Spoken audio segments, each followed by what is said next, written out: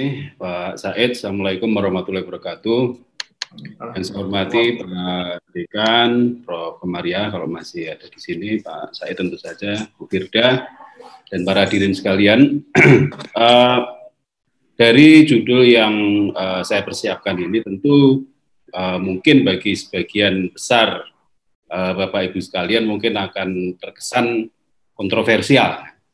Apalagi tadi di awal sudah ditanyakan, ada yang menanyakan bahwa uh, kuantitatif itu adalah untuk uh, teori, sementara kualitatif ada untuk uh, namanya memunculkan sebuah teori. Padahal sebenarnya uh, pendekatan kualitatif hari ini eh, itu juga sudah uh, menjangkau pada upaya untuk uh, pengujian uh, teori uh, hipotesis, sehingga dalam uh, metode proses tracing ini sama dengan uh, salah satu ya salah satu dari pendekatan uh, kuantitatif yaitu analisa statistik uh, diharuskan menggunakan hipotesis.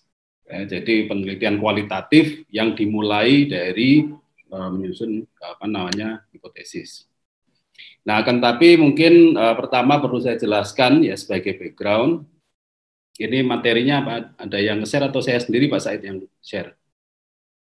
Ada Pak Anitia dari oh, ya. panitianya yang share Pak Fadilah. Okay. Monggo uh, Pak Rendra. Ya. Baik, jadi uh, tujuan atau pertama adalah latar belakang ya dari uh, apa yang ingin saya sampaikan. Yang pertama adalah bahwa kalau tadi Prof. Maria mengatakan uh, bahwa banyak mahasiswa yang fobia melakukan penelitian kuantitatif, apalagi saya itu di VIA, ya, saya itu betul, Pak saya itu betul. Nah tujuan dari paparan saya apa namanya pada kesempatan ini adalah membuat mahasiswa menjadi fobia melakukan penelitian kualitatif. Jadi kalau nanti setelah materi ini uh, ada semua ketakutan dengan penelitian kualitatif, berarti uh, tujuan saya berhasil. Jadi, karena apa? Karena selama ini penelitian kualitatif dianggap sebagai alternatif yang gampang ya. Jadi eh, padahal sebenarnya tidak ada metode yang gampang, yang ada adalah metode yang dianggap gampang atau digampangkan. Sebenarnya kualitatif juga uh, sebuah metode yang uh, sangat robust. Ya. Dan, uh, kalau kita mau apa serius sebenarnya juga banyak hal yang bisa digali di situ. Uh, Oke, okay. jadi yang pertama adalah uh, perlu ada pembedaan ya antara tiga konsep yang ini sebenarnya sudah banyak uh, diulas uh, dari Elinor Ostrom ya tahun 2011 kita semua tahu uh, Ostrom ini adalah peraih hadiah Nobel di bidang sebenarnya bidang ekonomi tapi kalau kita baca buku beliau uh, dan paparan beliau dalam pidato apa pengadu gerahan Nobel pada tahun 2009 itu lebih banyak berbicara tentang kebijakan publik ya. Ostrom mengatakan waktu itu mengambil kasus uh, tentang the common of goods ya, dalam hal ini adalah sumber daya-sumber daya yang itu tidak bisa diklaim kepemilikannya oleh negara tertentu. Nah itu bagaimana tata kelolaannya itu sebenarnya yang di, dikaji oleh Ostrom. Tapi bukan kebaruannya bukan di situ. Kebaruannya bukan di situ, tapi kebaruan dari Ostrom adalah meluruskan cara berpikir para ilmuwan itu supaya tidak overlap membedakan mana yang teori, mana yang framework, dan mana yang model.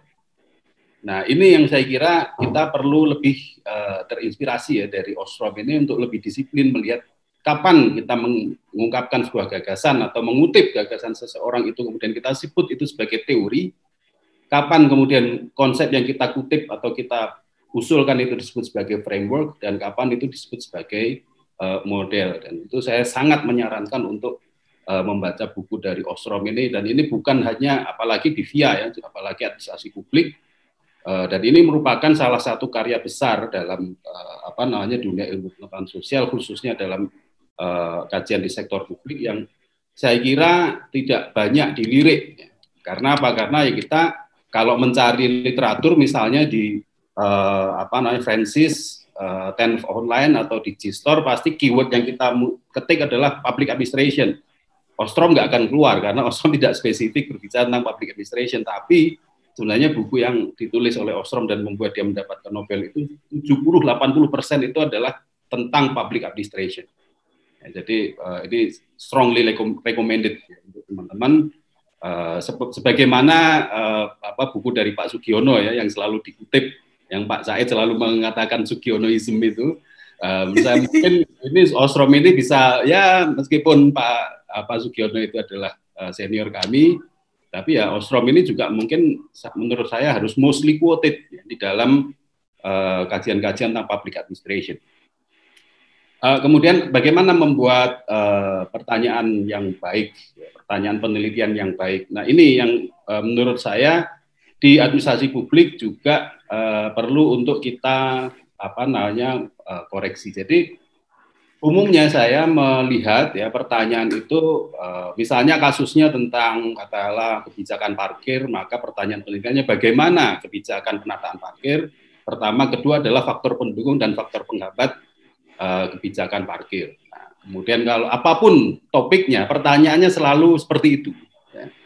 Nah ini menunjukkan bahwa sebenarnya pertanyaan penelitian itu dibangun tidak berdasarkan pemahaman yang utuh dari seorang peneliti baik terhadap konsep maupun terhadap kasusnya.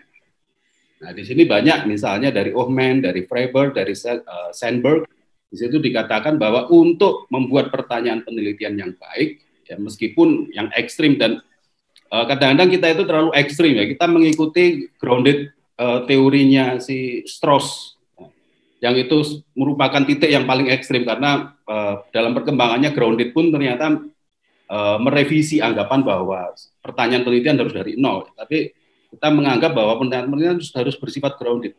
Sehingga tidak boleh ada teori yang men mencampuri pikiran kita harus benar-benar ngeblank kosong. Itu kan salah satu itu pendapat Strauss yang paling ekstrim yang Strauss sendiri juga sudah merevisi uh, pendapatnya bahwa tidak boleh ada bias uh, ketika seorang uh, peneliti akan membuat sebuah pertanyaan penelitian. Dan hampir jumhur ilmuwan ya, jumhur ilmuwan itu adalah mayoritas ilmuwan mengatakan bahwa good research questions itu harus dibangun berdasarkan good understanding baik dari konsep maupun sehingga pertanyaannya nggak mungkin sama semua bagaimana bla bla bla bla faktor pendukung dan faktor penghambat bla bla bla bla itu menjadi uh, apa namanya pakem ya seolah-olah itu menjadi pakem. Nah sehingga kalau kemudian kita sudah paham bahwa ternyata uh, gap yang ada di sini misalnya pada aspek kemampuan analitik dan itu adalah pada sisi organisasi misalkan sehingga pertanyaan penelitiannya adalah bagaimana kemampuan analitik dari organisasi dalam mengatasi kebijakan parkir. Kelihatan dari pertanyaan penelitian saja, orang ini qualified untuk mengajukan sebuah riset daripada bagaimana pengelolaan kebijakan parkir, faktor pendukung dan faktor penghambat pengelolaan kebijakan parkir. Nah, dia menanyakan tentang bagaimana kapasitas organisasi, bagaimana kapasitas analitik organisasi dalam pengelolaan kebijakan parkir. Dari pertanyaan saja, orang sudah, wah ini dia uh, tidak hanya sekedar bertanya, dia sudah mendalami dan menemukan ada satu persoalan spesifik di situ yaitu kapasitas organisasi dalam melakukan analisis. Nah, sehingga kalau kita lihat pertanyaan khususnya yang ada di dia, mungkin nanti bisa terutama penelitian yang menggunakan kualitatif, yang ekstrim uh, Straussian tadi itu dalam prakteknya ternyata juga tidak tidak tidak mengikuti Strauss karena ada seminar proposal. karena kalau mengikuti Strauss sebenarnya kan tidak ada seminar proposal karena uh, seminar proposal itu berarti sudah ada apa namanya uh, konsep yang tadi. Oke, okay.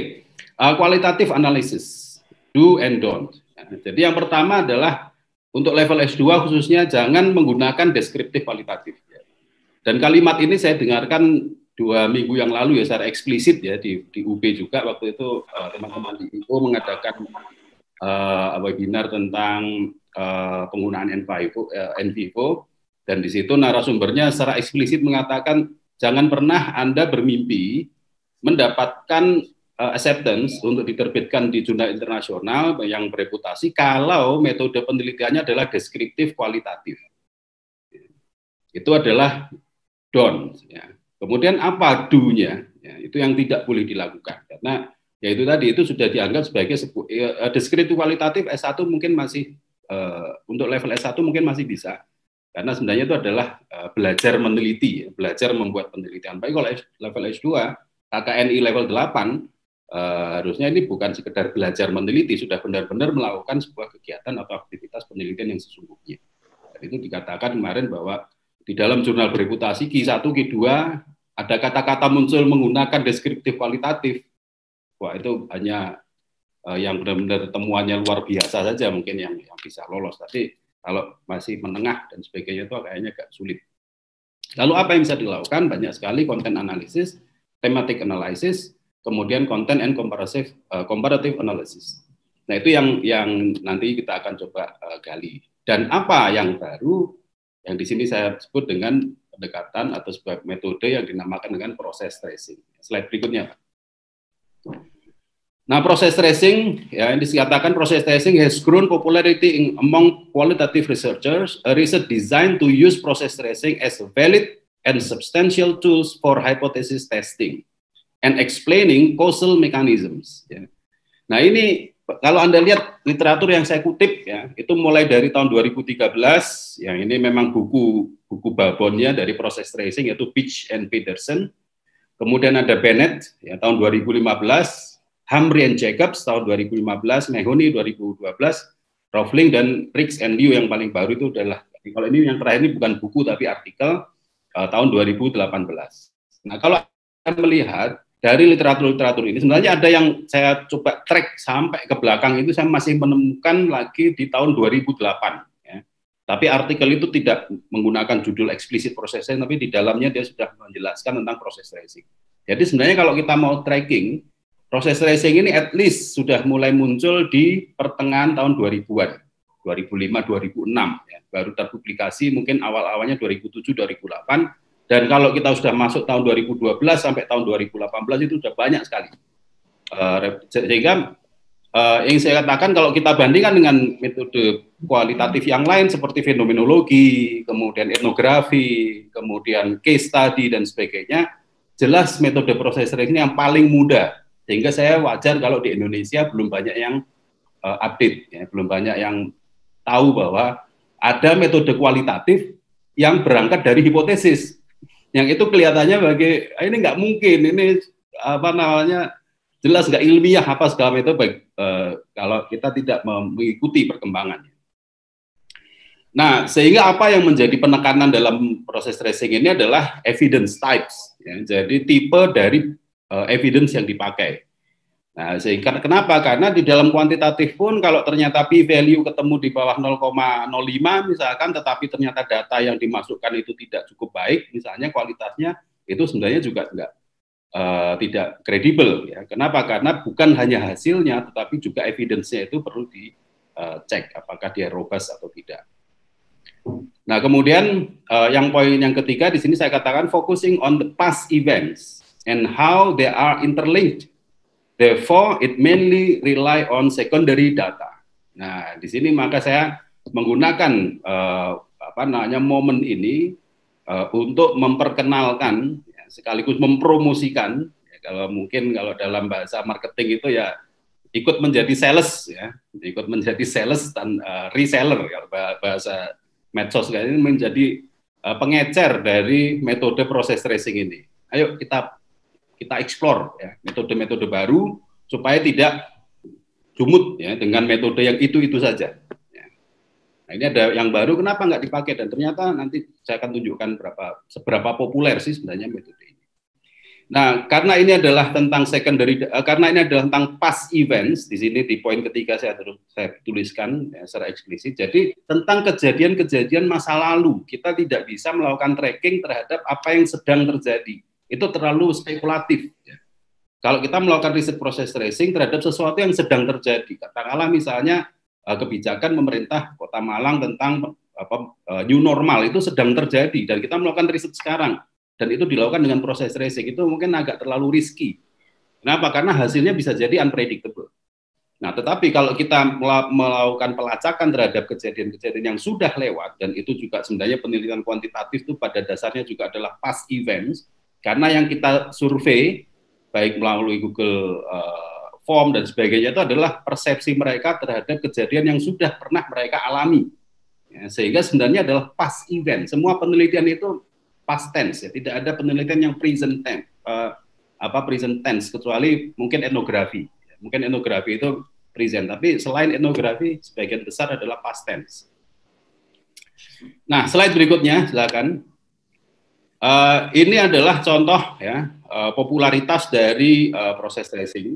Kalau anda ketik di Google Scholars itu banyak sekali tulisan-tulisan uh, tulisan tentang uh, proses tracing. Mungkin kalau Google Scholar ada yang menganggap bahwa Google Scholar uh, tidak terlalu ilmiah. Ya, di, saya juga mungkin bisa diklik ya. Selanjutnya itu saya juga melakukan pencarian di uh, Francis Online. Ya, bisa diklik mas di Francis Online itu saya temukan ada sekitar 400 ribu 400 ribu artikel yang dipublikasikan yang menggunakan proses tracing. Kalau saya melihat di Gstore, mungkin ini ini file yang saya baru atau yang lama ya. Saya yang baru saya tambahkan juga Gstore bisa diklik lagi. Ya. Nah di Gstore itu ada sekitar 100 uh, eh, ada 10 ribu ya ada 10 ribu uh, penelitian atau publikasi yang menggunakan proses tracing. Karena Gstore mungkin lebih lebih selektif ya. Uh, tapi kalau kita lihat di Google Scholar sudah ribuan, bahkan di Tenf Online itu sudah uh, hampir 500 ribu. Ini menunjukkan bahwa uh, ketika ada menggunakan proses tracing ini bukan menjadi barang yang asing ya, di dalam uh, apa namanya dunia ilmu pengetahuan khususnya di uh, social science. Uh, baik, slide berikutnya. Uh, mengapa menggunakan proses tracing ya? Karena background saya adalah kebijakan publik, ya, sehingga sebenarnya paling uh, sebenarnya yang aspek administrasi publik yang lain pelayanan dan sebagainya juga masih bisa masuk. Tapi yang paling uh, jelas itu semua riset kebijakan publik uh, itu bisa digunakan dengan menggunakan proses tracing. Kenapa? Karena proses tracing itu berangkat dari intervention.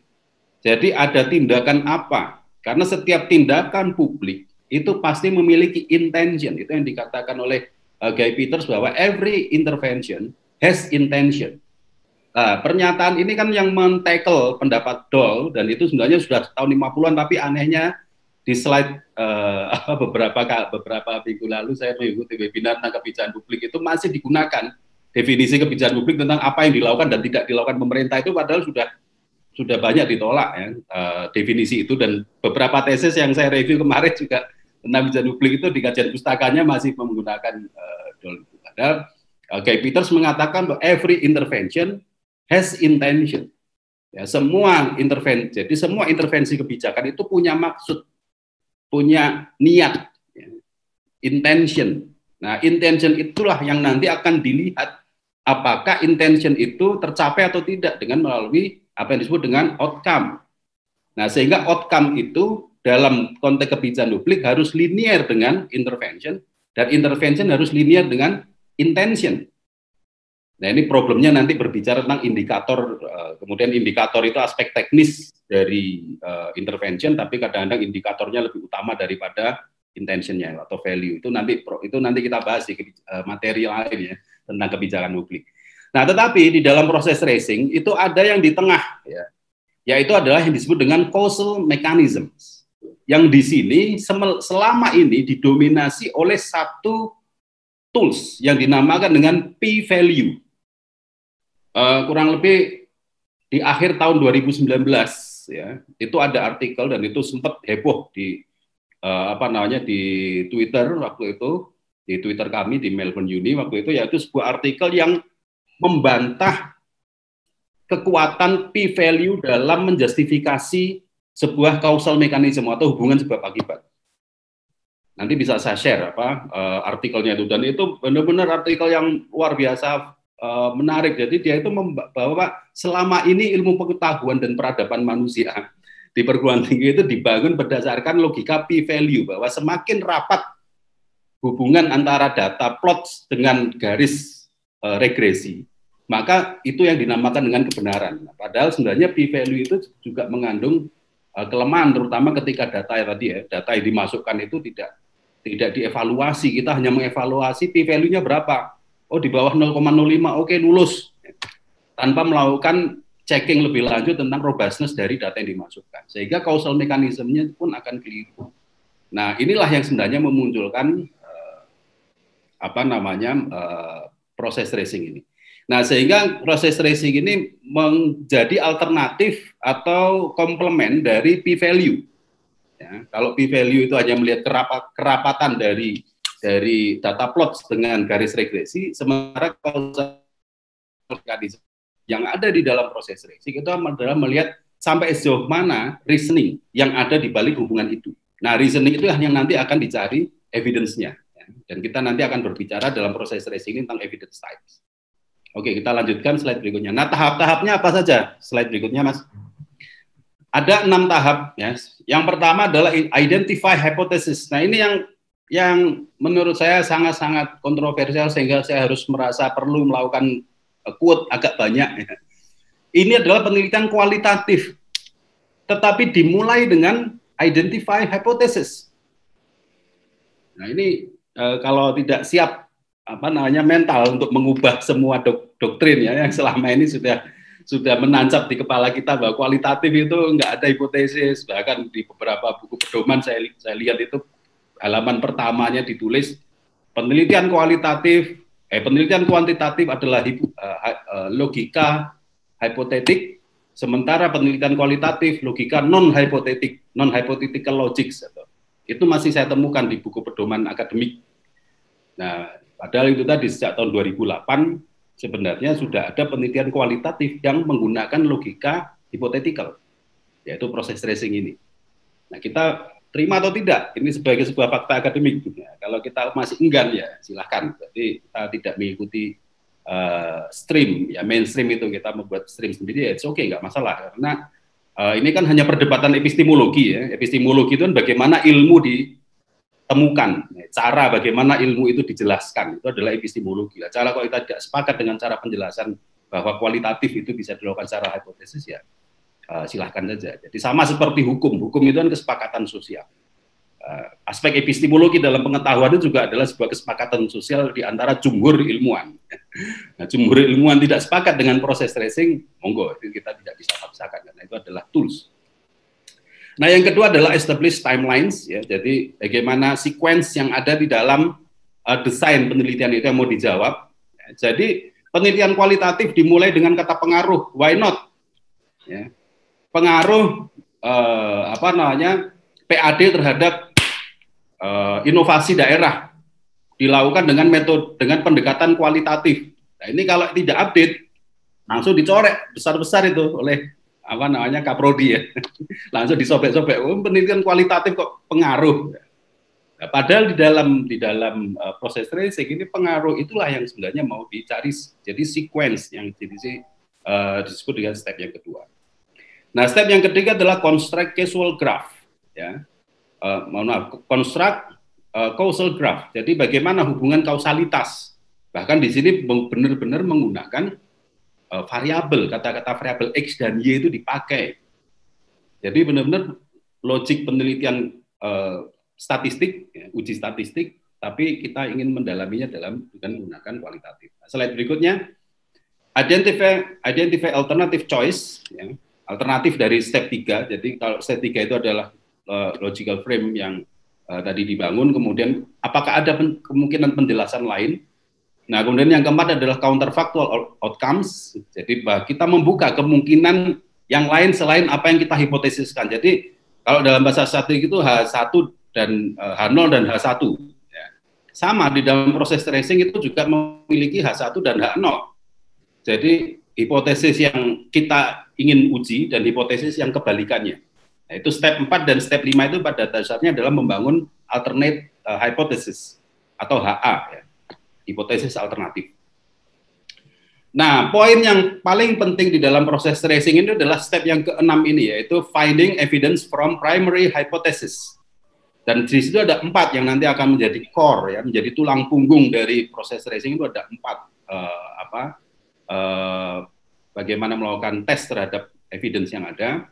Nah, di sini uh, banyak sekali, terutama penjelasan dari yang terakhir tadi, yang Riggs and Liu tahun 2018 itu detail sekali dan saya terus terang saja ini saya ambil dari Rick and Liu tapi Rick and Liu itu hanya artikel kalau buku yang menjelaskan itu bisa diambil dari Bennett atau si uh, apa namanya Pitch and Pedersen yang tadi sudah saya jelaskan. Nah, barulah yang step ketujuh uh, setelah kita memastikan bahwa evidence yang kita miliki itu masuk ya kalau dalam bahasa uh, proses tracing itu dinamakan dengan doubly decisive. Ya, jadi sebuah bukti yang benar-benar kuat dan meyakinkan Ya, kalau dalam bahasa uh, bahasa pengadilan itu adalah dua atau bahasa KPK ya, Komisi Pemberantasan Korupsi itu ada dua sumber bukti yang apa namanya kuat dan meyakinkan. Nah itu yang dinamakan dengan doubly decisive. Nah, kita ingin mendapatkan itu. Kalau kita nggak menemukan evidence yang doubly decisive, ya kita nggak bisa mengambil kesimpulan berarti hipotesis ditolak. Oke, slide berikutnya mas. Nah ini adalah bagaimana uh, tujuh tahap yang ada itu uh, dijalankan ya mekanismenya dan di sini anda bisa melihat di tengah ya di tengah itu yang ada tulisan straw in the wind, kemudian hoops, ada doubly decisive dan ada smoking gun. Dan bagaimana posisi dari masing-masing itu sehingga tugas dari seorang peneliti adalah mengumpulkan data sebanyak-banyaknya sesuai dengan hipotesis yang tadi dia buat. Misalnya apakah ada pengaruh kalau PAD-nya tinggi berarti inovasi daerah itu meningkat. Ini kan adalah teori. Kenapa kok harus PAD? Karena PAD itu bebas penggunaannya. Ya, kalau DAU apalagi DAK itu kan diatur harus digunakan belanja ini, belanja itu dan sebagainya. Sehingga sulit inovasi lokal itu dibiayai melalui uh, eh, DAU maupun DAK. Sehingga inovasi lokal itu mungkin uh, ruangnya lebih banyak bisa dibiayai melalui uh, eh, PAD.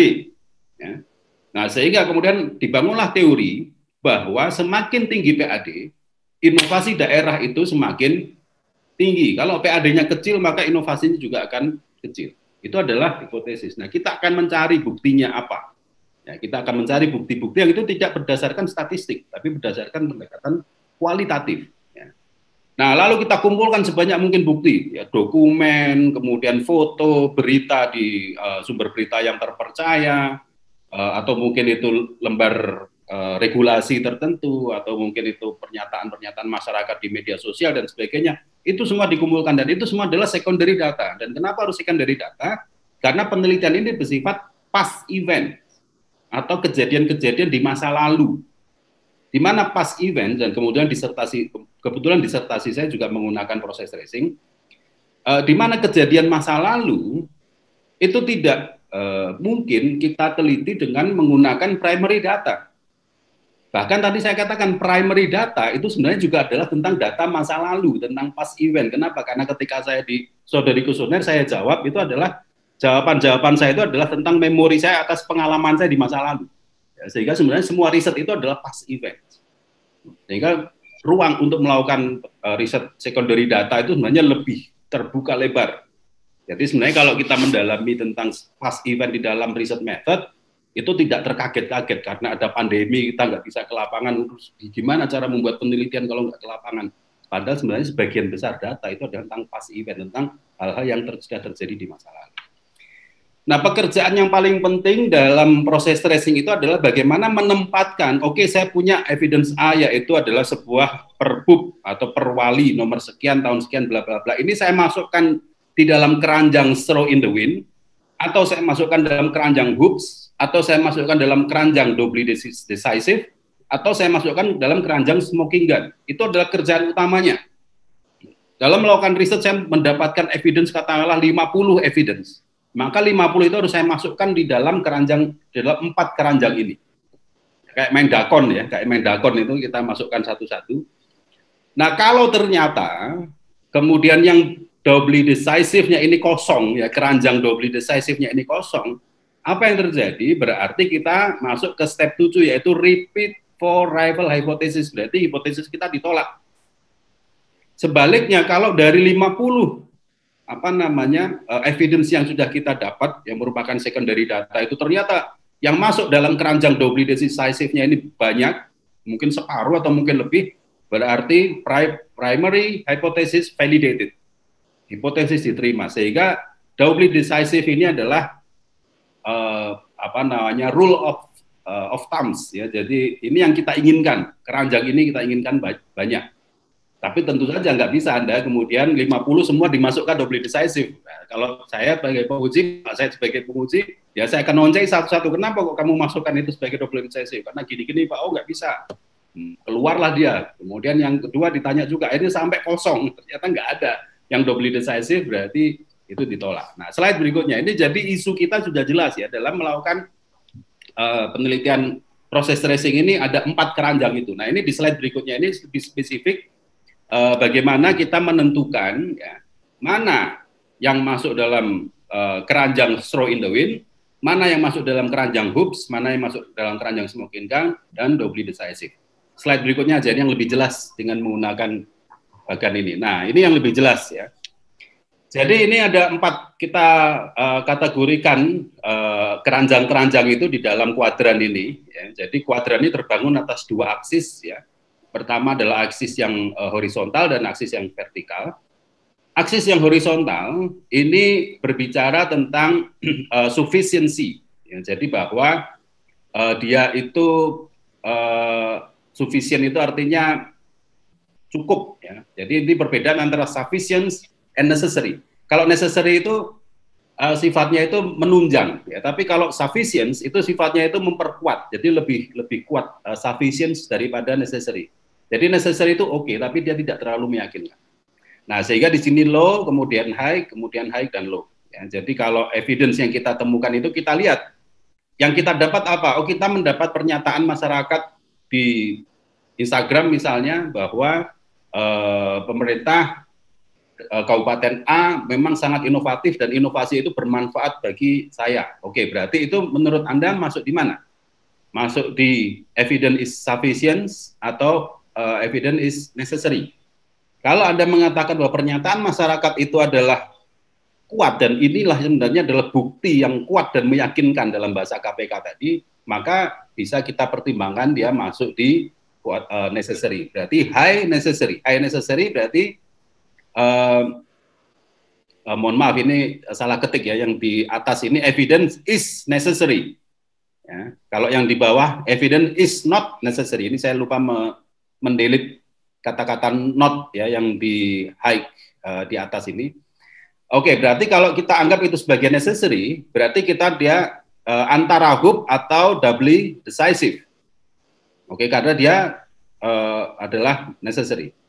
Nah, kemudian kita lihat apakah dia mendukung atau tidak hipotesis yang kita uh, support. Oke, okay, dia mendukung, berarti dia ada di kuadran yang ke uh, apa namanya kedua ya. Berarti dia masuk di decisive. Jadi dia necessary dan dia mendukung secara kuat hipotesis kita. Berarti bukti tadi kita masukkan ke dalam double decisive dalam keranjang double decisive.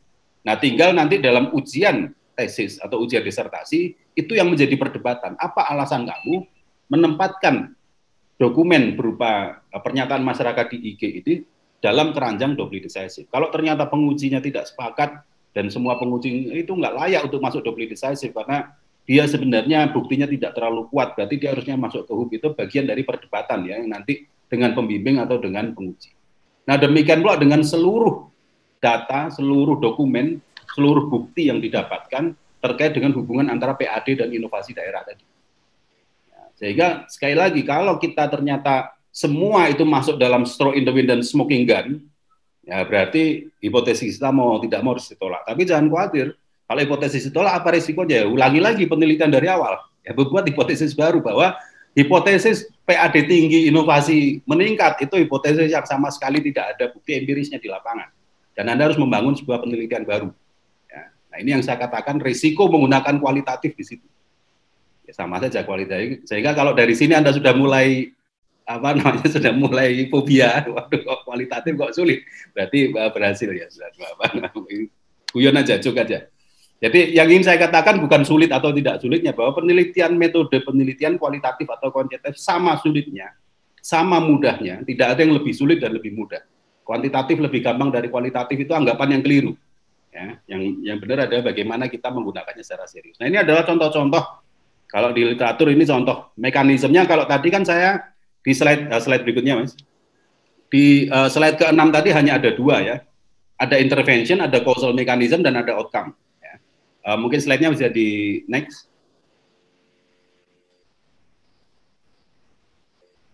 Silakan slide berikutnya ya. Oke. Okay. nah ini adalah contoh ya bagaimana universal healthcare campaign ini akan berdampak pada free universal healthcare. Jadi ini adalah penelitian uh, social policy yang sekarang juga sedang kami dalami. Jadi kalau ada kampanye besar-besaran bahwa layanan kesehatan itu merupakan hak dari seluruh warga negara, ya, sehingga BPJS itu mungkin nanti harus direvisi uh, konsepnya. BPJS harus dibuat seperti BOS misalnya, karena BOS itu kan universal education uh, system kaya miskin dapat bos. Sementara kalau BPJS kita ini masih ambigu ya. Dia maunya itu universal, tapi masih ada klasifikasi, ada kelas-kelas dan belum lagi manajemennya yang masih perlu banyak perbaikan. Nah, di dalam negara-negara kesejahteraan di Skandinavia, bahkan di uh, beberapa negara Eropa Barat juga, universal healthcare itu menjadi sesuatu yang hak dasar. Ya. Jadi dia nggak boleh ada kelas-kelasnya. Itu semua orang punya hak hidup yang sama. Dan negara harus memberikan jaminan itu. Misalnya. Nah, sehingga goalnya apa? Goalnya adalah free universal healthcare. Harus gratis. Jadi layanan kesehatan harus gratis. Nah, di sini ada hipotesis kalau kampanye tentang hak uh, dasar, hak konstitusional warga tentang layanan kesehatan itu semakin tinggi, maka outcome-nya apa? Outcome-nya adalah layanan kesehatan akan menjadi semakin gratis. Ini isu di teman-teman social policy, ini isu-isu di teman uh, social welfare policy yang juga uh, menarik sebenarnya untuk dikaji dalam public administration. Nah, Berarti universal campaign, ya universal healthcare campaign, ini adalah intervensinya. Kemudian free universal healthcare itu adalah outcome-nya. Dan di antara intervensi dan outcome itu ada mekanisme. Ya, ada mekanisme yang akan diuji hipotesisnya civil society, public, public government actors dan uh, government sehingga kemudian menjadi free universal. Nah, ini mekanismenya di sini kita lihat ada satu, dua, tiga, empat, lima. Jadi ada lima causal mechanism. Ya, ada lima parts di sini ya. Ada lima part causal mechanism yang harus kita cari evidence-nya dan evidence-nya minimal itu hoops. Kalau bisa doubly decisive. Tapi kalau kita tidak bisa menemukan evidence yang hoops atau doubly decisive, maka semua mekanisme ini ternyata tidak real, ya, tidak nyata. Oleh karena tidak benar. Karena dalam sains itu yang benar itu adalah yang nyata. Ya, seperti dalam kajian ontologi itu kan, laut itu biru, tapi kenyataannya kan tidak biru. Tidak semua yang kita lihat itu adalah kenyataan. Sehingga yang mengatakan laut itu biru, dia sedang mengatakan ketidakbenaran. Kalau dia mengatakan laut itu warnanya adalah bening, berarti itu benar meskipun terlihat biru. Itu masalah ontologi ya. Nanti lain lagi nanti kajiannya filsafat itu. Tadi Prof. Kemaria juga sudah menjelaskan. Nah, contoh berikutnya ini skripsi. Ini skripsi di VIA yang sudah kami bimbing kemarin dan sudah lulus anaknya. Next berikutnya.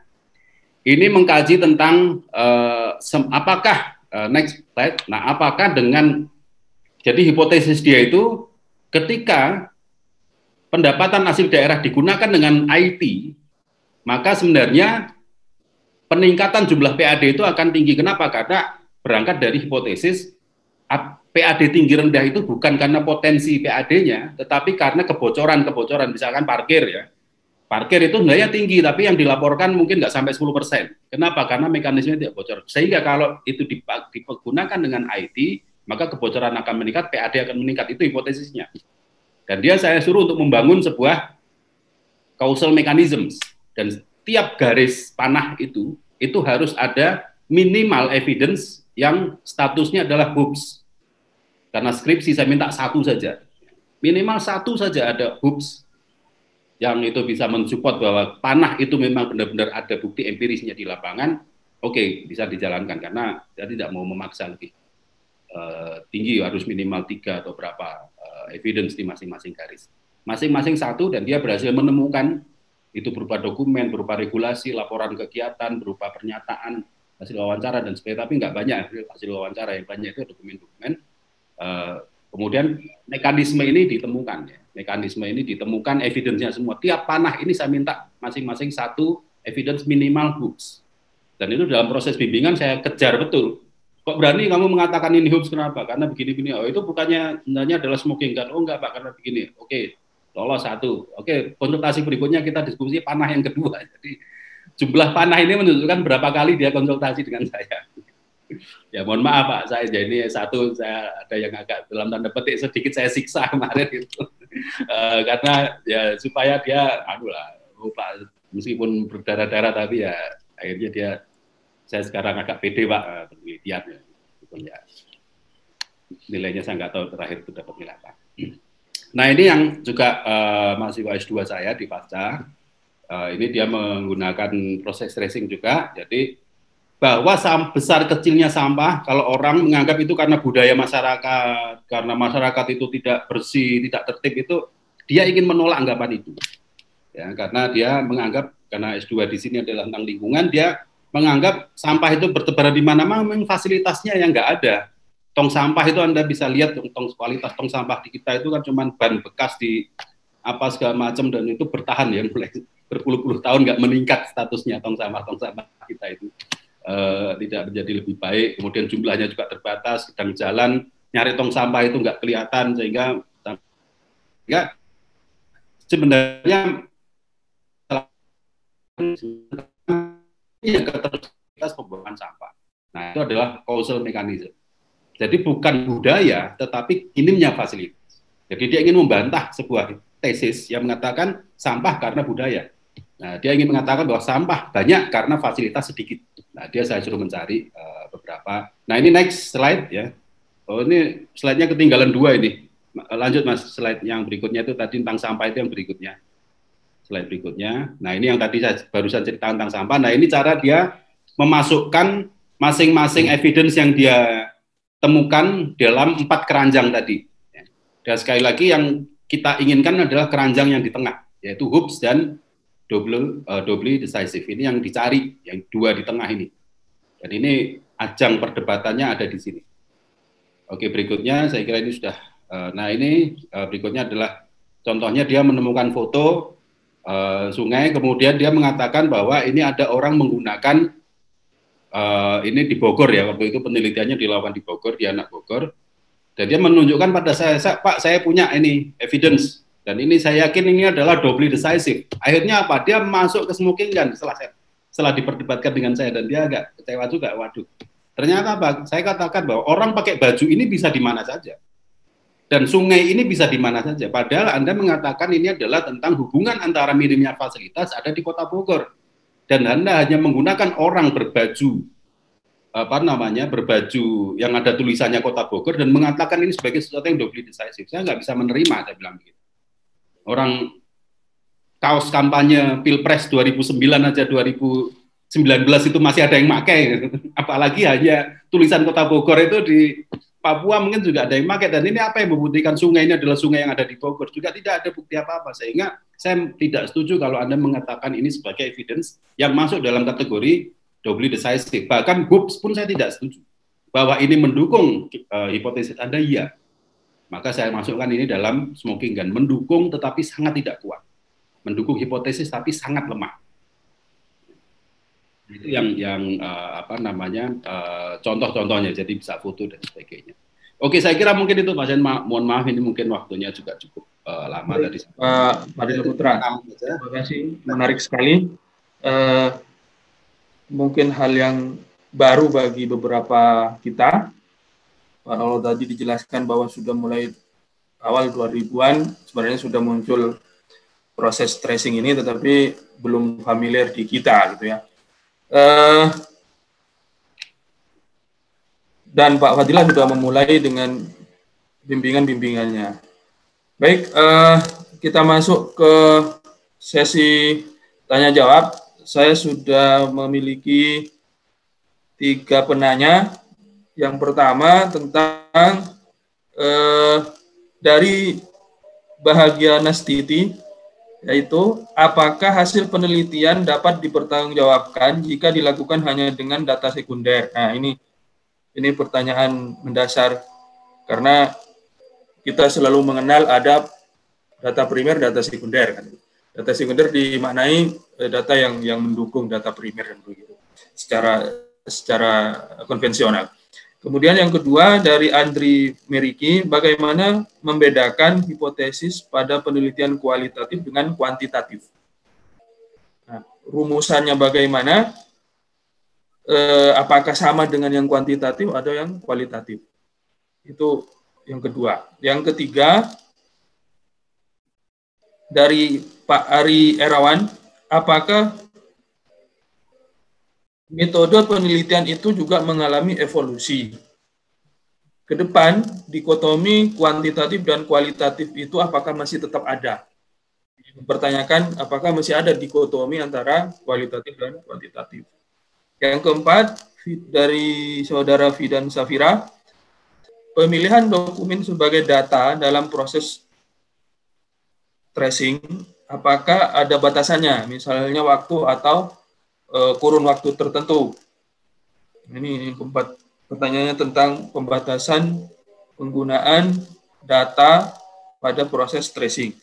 Kemudian yang kelima dari Arna Asna, Anissa, apakah penelitian kualitatif harus selalu uji triangulasi dalam kondisi tertentu?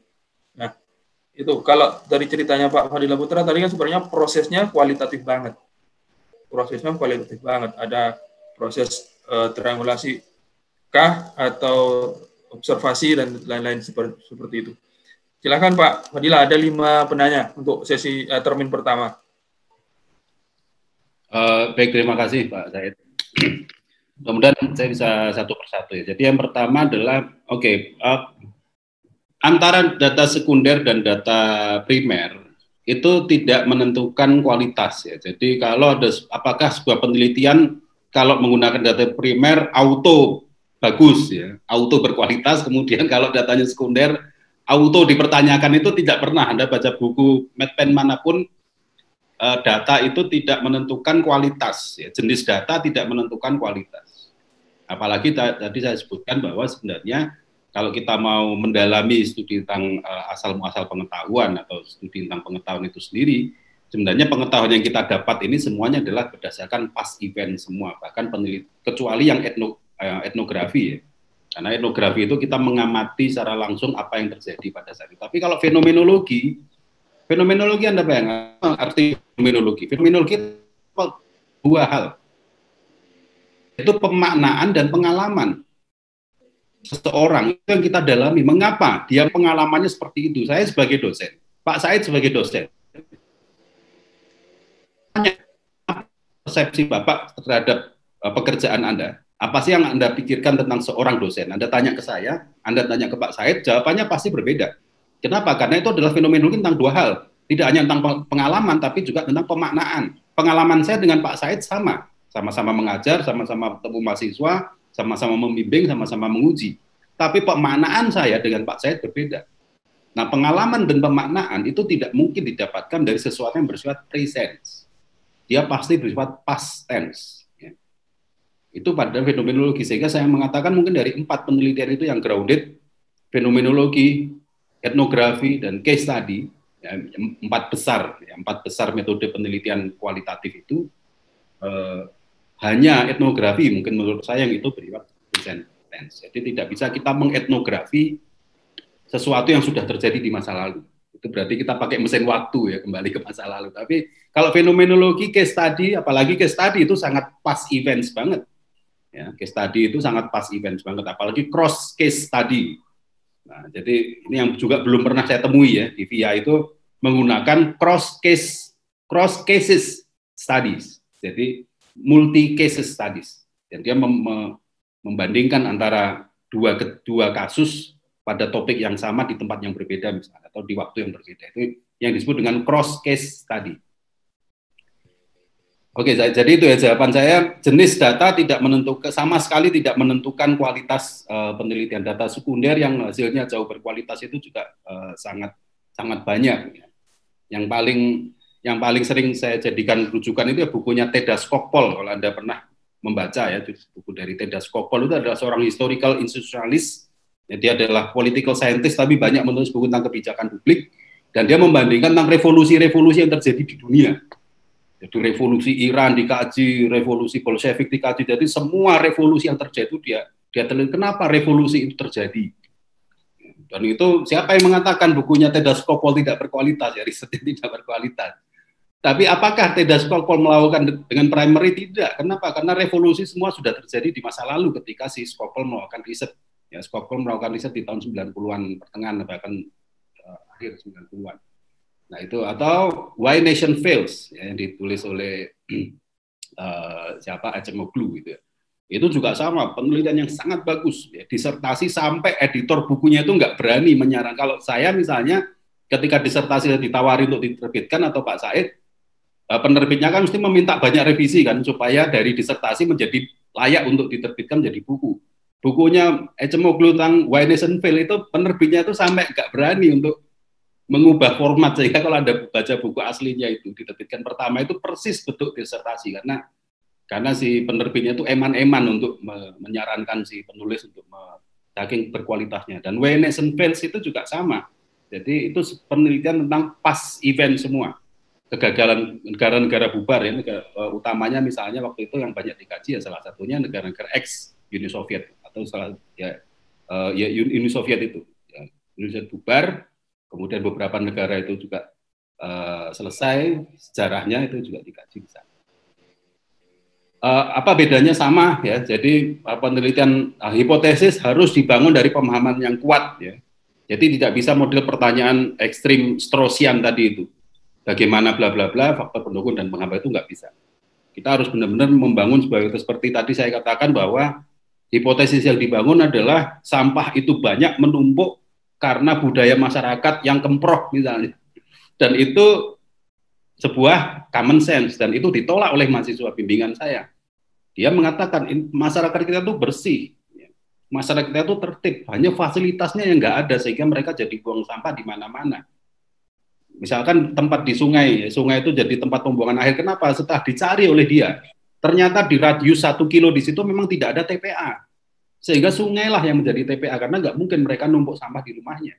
Karena nggak ada TPA akhirnya sungai dirubah menjadi TPA jadi yang salah bukan budayanya karena TPA-nya yang nggak ada. Itu itu adalah hipotesis dan itu di, di, di, diteliti dengan proses tracing dan tadi uh, banyak sekali temuan yang menarik di situ.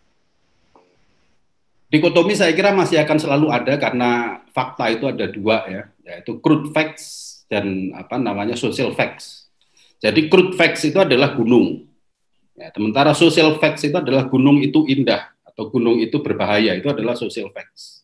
Ya, sehingga lebih banyak berbicara tentang tapi kalau crude facts itu ya uh, apa namanya uh, hiu ya. hiu itu adalah crude facts tapi hiu itu menakutkan itu adalah social facts dan antara crude facts dan social facts itu selalu berjalan beriringan dan itu nggak pernah dipisahkan ya di antara dua tapi opini masyarakat tentang sebuah fakta dengan fakta material yang yang ada itu selalu ada berdampingan secara ontologis mereka selalu ada uh, secara bersamaan dan yang crude facts-nya itu biasanya diteliti dengan pendekatan kuantitatif karena tadi adalah positivistik ya. Saya sepakat dengan yang dikatakan Prof. Kemaria tadi uh, paradigma positivistik menghasilkan pendekatan kuantitatif. Jadi se apa namanya sepositivistik apa pun proses tracing kalau anda mau melakukan apa namanya sebuah uh, justifikasi oh kalau ada proses tracing berarti ini adalah versi positivismenya kualitatif. Tapi ingat, sepositivistik apa pun uh, proses racing, dia masih beranggapan atau berpijak pada uh, social facts, bukan pada group facts. Batasan dokumen jangan dibatasi. Ya.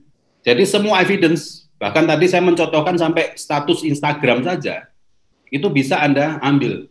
Ya. Pokoknya, loh kok ini bicara soal sampah, ambil. Kemudian Anda melihat lagi ada uh, poster jangan buang sampah sembarangan, foto. Jadi apa ya kehidupan kita sehari-hari itu sudah di, diperumuni oleh topik penelitian kita. Sehingga apa pun fakta yang kita lihat di HP, grup WA, di Instagram, di Facebook, di jalan, di dinding, di tembok segala macam, kalau kita temukan ada fakta yang itu menolak atau mendukung, ambil semua. Apa pun nanti biarkan itu diserahkan pada proses uh, evaluasi ya, baik dengan pembimbing maupun pada saat uji. Nah, triangulasi bagaimana? Masih ada nggak? Masih musim nggak triangulasi dalam proses tracing? Sangat masih, ya. Terutama ketika dalam menentukan apakah dia akan masuk ke dalam hoops atau uh, doubly decisive. Kalau itu terkonfirmasi, kemudian teruji, terverifikasi, dan sudah di cross ke banyak pihak ternyata memang benar seperti itu. Nah, hanya yang beginilah yang layak untuk masuk dalam kamar doubly decisive.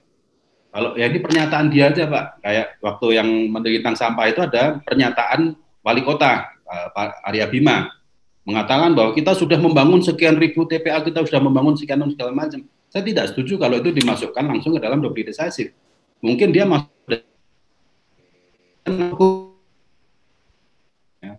dalam double decisive. Kenapa? Karena itu belum terverifikasi. Itu adalah sebuah pernyataan politik. Tidak mungkin seorang wali kota menyatakan di media massa waktu itu di Metro TV, ya memang kita masih belum membangun tong sampah karena ya masih belum sempat kan nggak mungkin. Wali kota pasti kita sudah membangun sekian ribu. Tapi apakah itu double decisive? Saya kira nggak bisa. kamu harus cross check, tanya kepala dinasnya.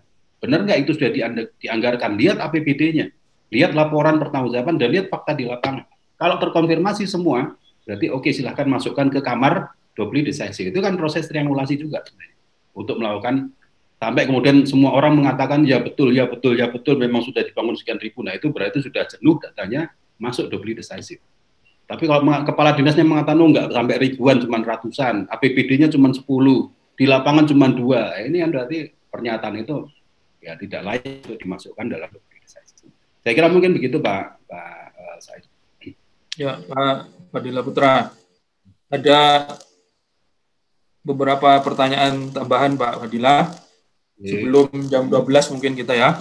Uh, yang pertama ini terkait dengan pertanyaan sebelumnya sebenarnya jadi dari Pak Denny Iswanto, bagaimana cara memilah atau memilih uh, data sekunder itu sesuai dengan uh, kebutuhan penelitian kita, gitu ya. Itu. Kemudian dari Ibu Enda Setiawati, apakah hipotesis dalam riset kualitatif di proses tracing ini, Pak, uh, dapat dimaknai menguji teori yang dituangkan dalam uh, hipotesis. Itu apakah pe, pengujiannya sama dengan kuantitatif? Jadi apa yang pertama uh, pertanyaannya apakah hipotesis yang dimaksud dalam proses tracing ini adalah teori yang diwujudkan dalam bentuk hipotesis? Mungkin uh, apa theoretical problem atau apa gitu kan? apa kemudian apakah pengujiannya sama dengan pengujian hipotesis pada proses kuantitatif. Kemudian dari Mary Amalia ini kebijakan publik Pak. Apakah dalam penyusunan skenario kebijakan itu lebih tepat menggunakan tracing eh proses tracing atau fenomenologi penelitiannya? Ya. Yang terakhir dari Badrudin Kurniawan, bagaimana cara menyusun framework untuk mengkaji suatu fenomena uh, yang akan diteliti. Ini mungkin harusnya yang tadi, yang di pertanyaan yang materi awal-awal dari Pak Fadila. Mungkin itu ada empat pertanyaan tambahan Pak Fadila. Oke, uh, baik terima kasih Pak Zaid. Jadi yang pertama adalah ya pertanyaan pertama ini pertanyaan yang sangat penting ya Kenapa saya katakan sangat penting, terutama dalam konteks proses tracing? Karena apa? Karena beberapa uh, pernah ada uh, kasus ya, tapi ini bukan yang saya alami, ini yang saya baca dari uh, artikel dari Rix and Liu. Uh, dan Rix and Liu menyimpulkan uh, dalam melakukan proses tracing, itu memang apa namanya peneliti itu lebih kalau kita sering mendengar peneliti sebagai alat ya itu posisi peneliti sebagai alat itu lebih kuat ketimbang ketika melakukan bahkan etnografi maupun fenomenologi. Kalau fenomenologi kan jelas peneliti uh, tidak seberapa dekat ya karena dia harus men, harus intens menanyakan pengalaman dan pemahaman dari uh, informan. Tapi kalau etnografi kan semua apa yang kita serap itu kan menjadi menjadi data. Nah sama dalam proses tracing itu hampir mirip kalau uh, Rix itu mengatakan bahwa ketika kita sudah mencanang, oke okay, saya mau melakukan penelitian tentang katakanlah uh, perilaku masyarakat dalam membuang sampah. Nah, dan itu sudah kita canangkan dan sudah disetujui oleh pembimbing, maka mulai hari itu, mulai detik itu, kita mempersiapkan diri kita itu sebagai penyerap data. Dan data itu bisa jadi sesuatu yang tidak berhubungan dengan topik itu. Misalnya aja pada saat itu dia uh, dicontohkan apa dalam kasus uh, mahasiswa saya tadi uh, S2 itu, dia mengantarkan anaknya ngaji.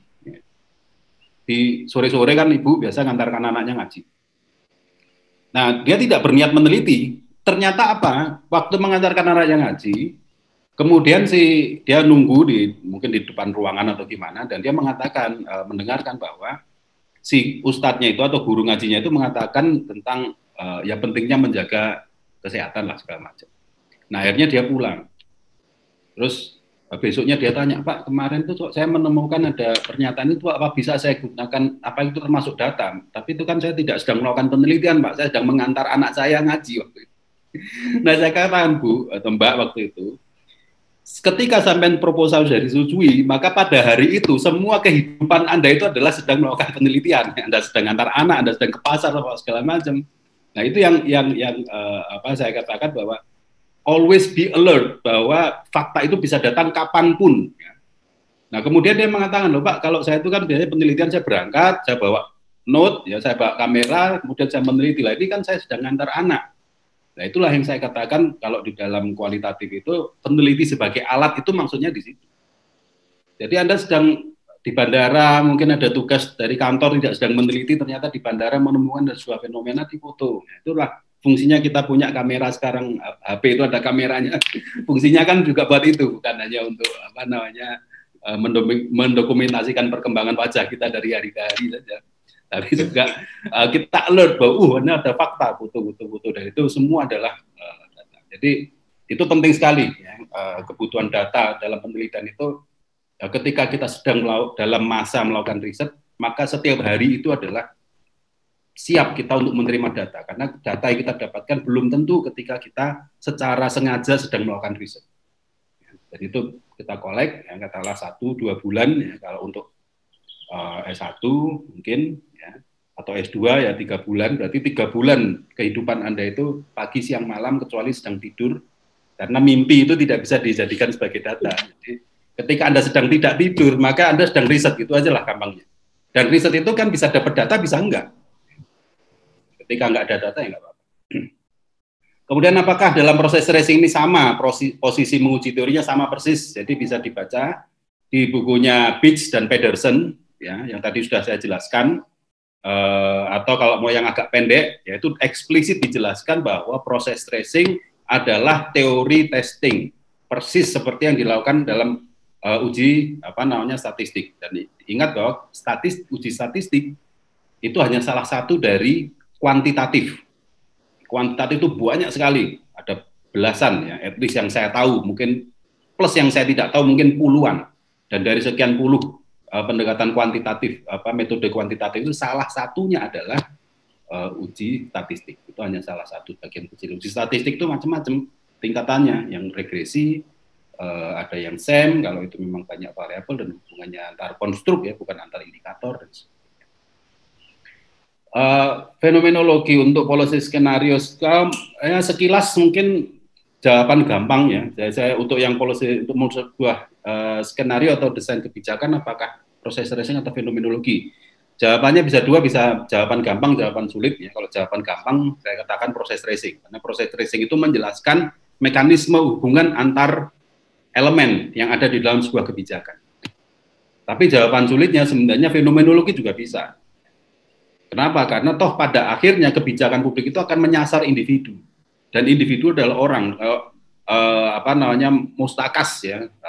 Apa mustakas atau siapa yang seorang fenomenolog ya, tokoh fenomenolog itu mengatakan bahwa fenomenologi itu adalah ilmu tentang menemukan manusia itu yang paling penting.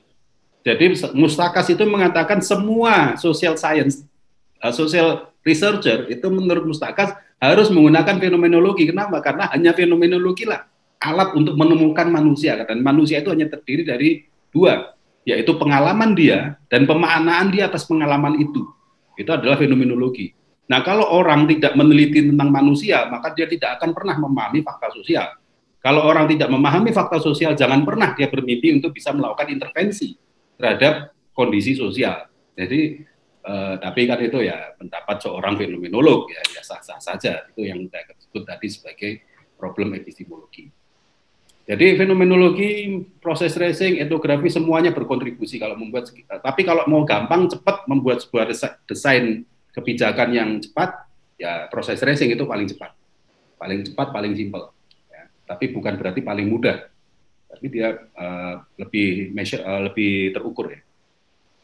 Ya, framework. Framework itu adalah proses uh, pendetilan dari teori, sementara model itu adalah alat untuk menguji teori. Jadi kalau saya membuat model, uh, bahwa apa namanya uh, meningkatnya PAD mengakibatkan semakin longgarnya keleluasaan daerah untuk menginisiasi sebuah program, semakin leluasa daerah untuk menginisiasi program, maka inovasi akan semakin meningkat. Itu adalah framework. Ya dari teori apa? Teori yang besarnya adalah bahwa inovasi membutuhkan diskresi misalnya.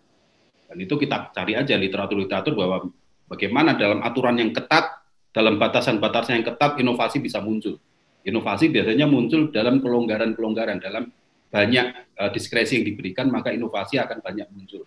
Nah, ruang kelonggaran itu ada di PAD misalnya, tidak ada di DAU, tidak ada di DAK. Sehingga framework yang saya buat untuk menguji teori apakah benar diskresi itu memunculkan inovasi, saya membangun sebuah model, ya, membangun semua model uh, apa namanya baik itu uji statistik maupun proses tracing yang ingin melihat bagaimana hubungan antara PAD-nya besar, diskresinya besar, inovasinya meningkat. Misalnya begitu. Kalau tadi misalnya semakin orang aware bahwa kesehatan saya itu bukan tanggung jawab saya, tapi kesehatan saya itu adalah tanggung jawab negara. Ini kan yang yang nggak ada di masyarakat kita. Kita itu sudah banyak didoktrin bahwa dirimu itu adalah nasibmu itu adalah urusanmu. Nah, sehingga kita sudah uh, wajar kalau ada orang meninggal karena sakit ya salah kamu sendiri. Tapi kalau di negara kesejahteraan ada orang sakit sampai mati di jalan, itu negara udah luar biasa bisa di apa bisa diimpeach ya gara-gara kejadian seperti. Tapi kalau di kita kan orang mati karena sakit ya salahnya sendiri nggak punya duit, salahnya sendiri nggak uh, jaga kesehatan dan sebagainya. Nah ini uh, sehingga kalau tadi potensinya mengatakan bahwa semakin tinggi kesadaran masyarakat bahwa kesehatan kita itu adalah tanggung jawab negara, maka semakin besar kemungkinan negara untuk membuat kebijakan free healthcare system. Di, di dalamnya itu ada hal-hal detail itu adalah model untuk menguji sebuah teori ketika teori sudah teruji, kita ingin lihat bagaimana penerapannya secara teknis itu yang dinamakan dengan framework. Saya kira mungkin demikian Pak Said, kurang satu menit pas ini tinggal untuk singgah. Ya.